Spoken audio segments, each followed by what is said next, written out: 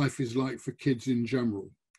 There are some who get diagnosed as having various kinds of problems, but the reality is it's quite tough being a kid. There's stuff going on all the time. Home isn't always wonderful, whether you've been put on some spectrum or not. It's not always uh, wonderful. So the idea of having a toolkit and schools beginning to create much more widely than uh, the, than uh, the, the, one school we've quite rightly heard about today, but create a toolkit so that kids can um, reach into that toolkit and do the things that they need to stay very much more resilient would be very important.